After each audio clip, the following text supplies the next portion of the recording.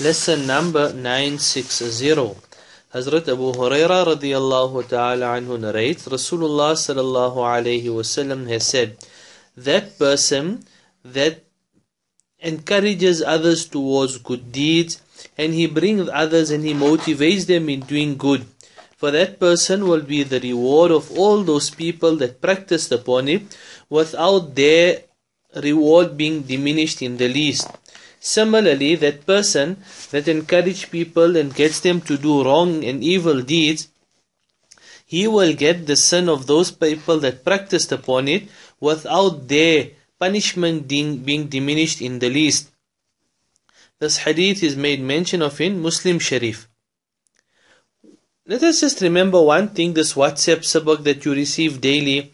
This is also falls under the ambit of this hadith, whereby Rasulullah sallallahu alaihi wasallam has said, you remind people, you motivate people, you get people to do something which is good. Imagine every day Maulana Yunus Sahib says, read Subhanallah. A hundred thousand people read it. He gets the reward of a hundred thousand. And thereafter you forwarded it to 50, 60 people those people read it, you get the reward of that 50 and 60. So why not take opportunity? Send the sabak to as many people as you possibly can. Also, remember that via social media, whatever hadith, whatever you receive, do not just forward it like that until you aware and until you're very sure that it is referenced correctly, until you aware that that particular hadith that you have given, that hadith is from Rasulullah sallallahu alaihi wasallam. It is authenticated. It's not a fabrication.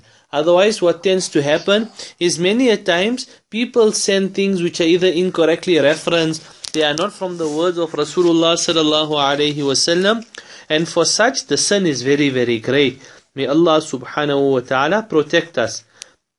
Now let us read Subhanallahil Azimi وبحمده سبحان الله العظيم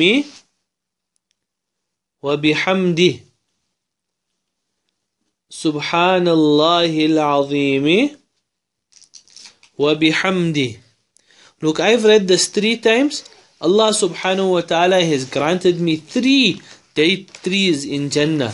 If you want you three, you read three times. If you want hundred, you read a hundred. Allah subhanahu wa ta'ala will give you as much as you read. We ask Allah subhanahu wa ta'ala the ability of encouraging people towards good and safeguarding that we must get people go towards wrong. Allah subhanahu wa ta'ala give us all the understanding.